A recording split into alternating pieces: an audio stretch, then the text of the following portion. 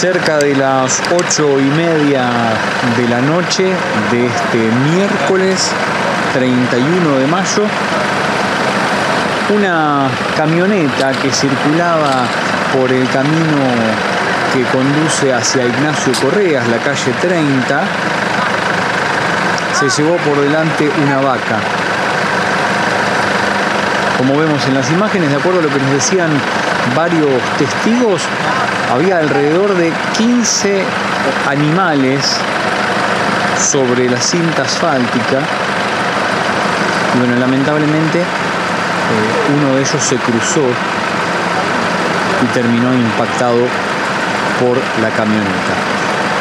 El conductor de la misma se trata de Pablo, un veterinario vecino de Ignacio Correas,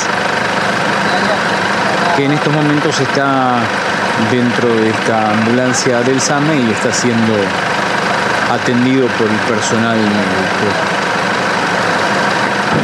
De acuerdo a lo que pudimos averiguar, había llegado ya una denuncia sobre estos animales. Personal policial del comando se acercó a este lugar y fueron espantando algunos animales que se metieron dentro del campo. Pero mientras pasaba esta camioneta, uno salió al cruce y lamentablemente yace allí del otro lado, tirado en estos momentos sobre la banquina.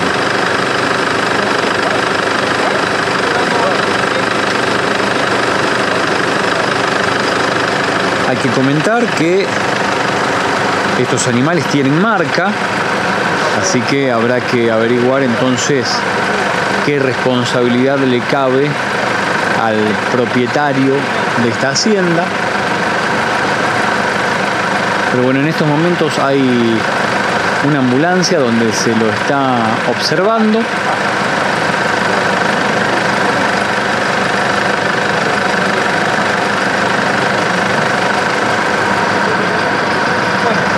Y llegó otra ambulancia que al parecer podría ser la que lo traslade, pero nos comentan que por el momento no habría necesidad,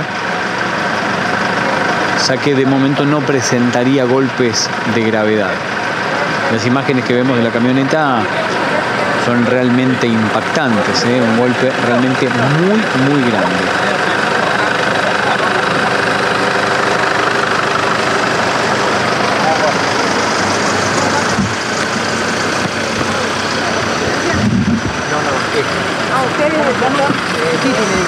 Eso, entonces va a decir al Juan de.